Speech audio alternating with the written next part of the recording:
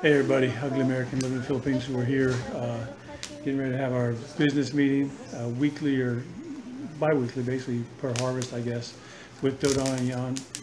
So anyway, we're getting ready to get started. Aiza is on the way in here, so we'll see how it all goes. What's going on? Uh, second batch. 50 chicks. And then 39 only because uh, small. The They haven't grown up yet, yeah.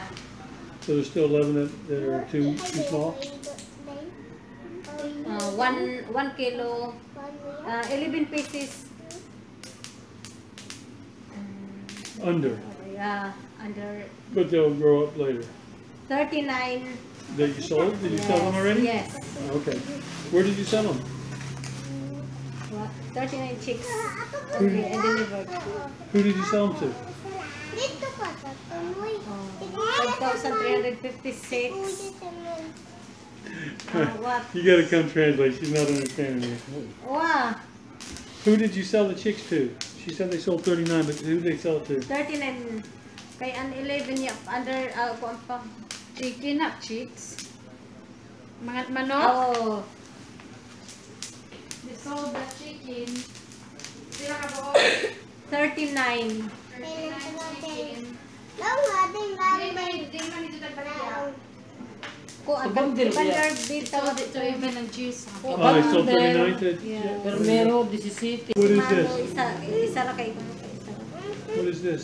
Uh, an amo na kuha ini 17 amo ini 29 chicken oh 39 chicken na kuan na deliver na mo nagtotal sila na 39? oo So, Ako they sold 11. 17 pieces to Ivan first delivered. 17 pieces. second The six second, it was 6 pieces. The total of, how much? How many?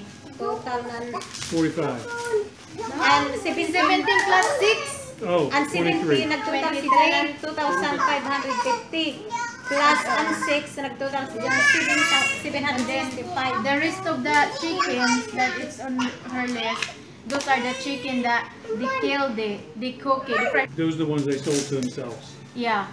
Okay. You were keeping track of it by the 50 chicks that you bought and you're doing it that way? wala I don't know, I'm just, I'm just wondering, is that how you're gonna continue to do it, or I thought because we talked about before that the, they were growing such different rates, that just whenever, you know, like once a week or every two weeks, we'll get together, and whatever you've sold during that time, we'll just discuss it that way. So it, it doesn't really matter which batch, because it only matters how, big- when they get big enough to sell. We already settled for the first batch. Right. There was 29 Right. uh, alive, Right. survived. The rest died out of 50. So now, I wanna say that it doesn't matter about the Right. batch. There's only, so forget the fifty, so it's it's just it's about uh, thirty-nine. it's about whatever the chicken that is Whatever they ready sold, to right, right. sell it right. It doesn't matter because all this right here, they're all the second batch anyway. Right, okay, ato kan okay. 11 Ang sa kabander, dako dako ang sa Okay, we'll, we'll get kabander, into it more, that's fine, so you sold thirty-nine 17 chickens. kabuos. You sold 17 seven, kilos. seven to yourself, to, Pila ka uh, ba John's ganito na Barbecue? ihaw? Nagpireto. Kuan. Ano? Bali, 1, 2, 3, 4, 5, 6, 7, 8, 9, 10, 11, 12, 13, 14. Fourteen to John's Barbecue. chicken, yes, that Okay, and then the it. rest, The rest, they sold it to Ivan. so fourteen Oh. from thirty-nine is, Tapos may nag-order sa amo ng 2 Forty pieces. Sarami lang. Ato sa kanmano. so you sold fourteen chickens to John's Barbecue for one fifty each? Yes. Okay, how much did you sell them to a vendor for?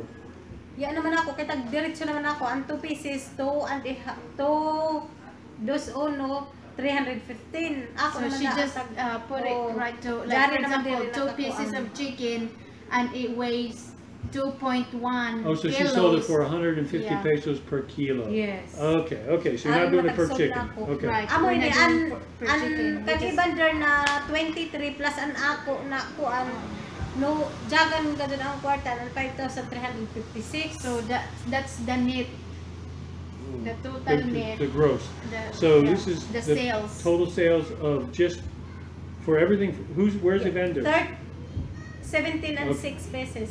Okay, these are twenty-three, So okay. pila Yeah. tanan ka bok manok ana 39. So 39. 39 chicken. Know, but did they sell the same price to a vendor as they did to themselves? Oo. One So fifty per taba kilo? 150 ang sa Okay, ijo. okay, so it's all the oh, same price. bayad 150 sa 150 sad sila. kanan Oo. niya. So it's Okay. the same, yeah. So it doesn't matter, Same okay. price. And so this is the total, how much you collected? 5,356. That's the total. Okay.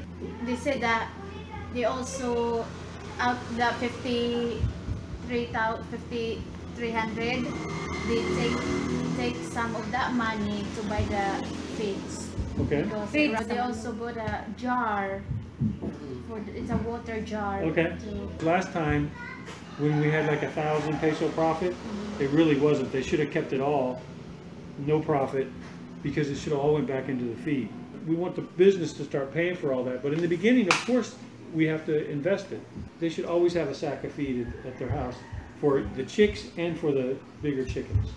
okay. Yeah, so they're just worried about the investment. It's getting bigger. They don't want the, the reason that they do it that way because they don't want the investment, Yeah, investment to like I already told them getting that's, bigger and bigger and then when they sell the, the chicken it's gonna be always the same you know money no, no, like- it, it'll be fine. The, the whole point is that we need to save as much money on the feed as we possibly can. Hopefully, we have enough money from the business to pay for all the feeds and still make a profit. They don't have to, they do not have to wait for us to buy some feed. They do not they need to. it right they're gonna buy it today Okay, well, home. the point is that when they need the feed, they buy the feed.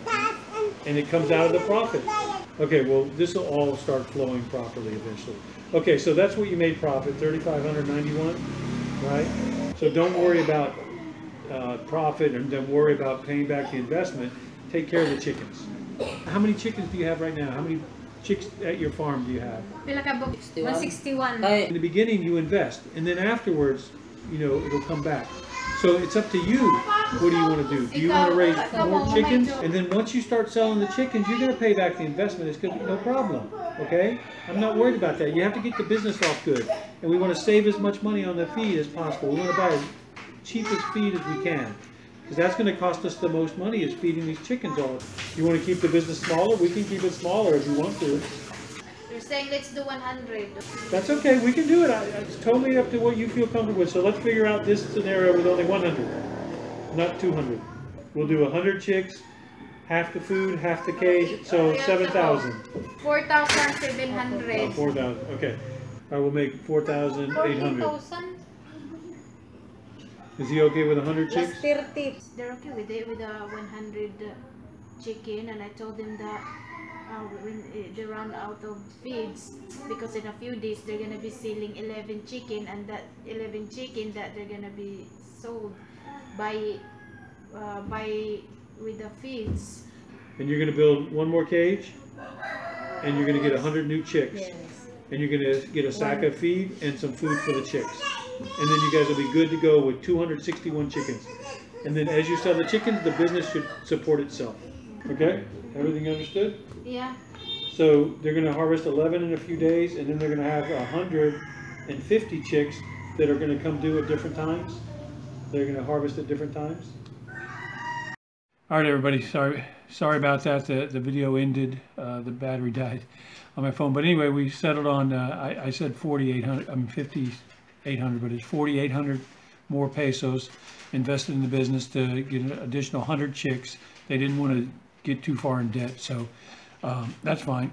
So they're gonna get another hundred chicks, and they're gonna hopefully sell some chickens in the next few days and have enough money to support their own uh, feed for the chicks.